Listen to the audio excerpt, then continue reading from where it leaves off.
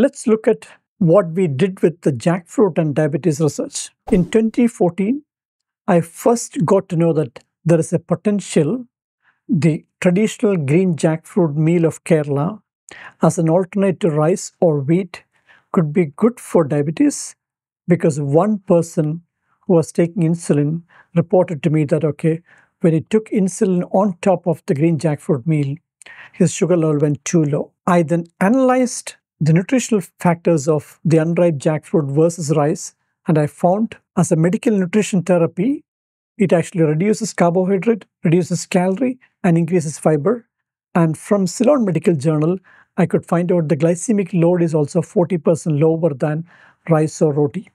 I then discussed that with the diabetologist in Kochi and I showed him the data. Then, convinced by my data, he gave it to his father, who is a diabetic who was taking insulin.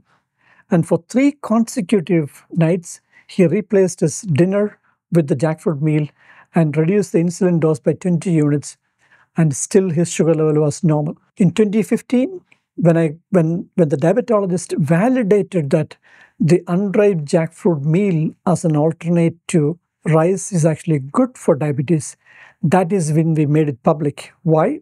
Because Kerala has a tradition of consuming the unripe jackfruit as a meal for ages.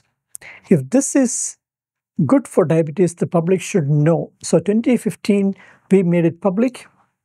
2020, we published a double-blind placebo-controlled randomized controlled trial at the American Diabetes Association and got it peer-reviewed and published in the world-famous journal of Nature Group, Nutrition and Diabetes. Now in 2025, that's 10 years after the diabetologist who saw that effect on his father, who validated the effect on his father, Dr. V. Mohan, India's best diabetes researcher, has now made it public that the jackfruit flour is a game changer for diabetes. In these 10 years from 2015, from the first diabetologist, 2025, when Dr. V. Mohan communicates that to the public, if I had not made it public in 2015, almost a million people would not have got the benefit of controlling their blood sugar with either with the traditional jackfruit or with the jackfruit flour for 10 years.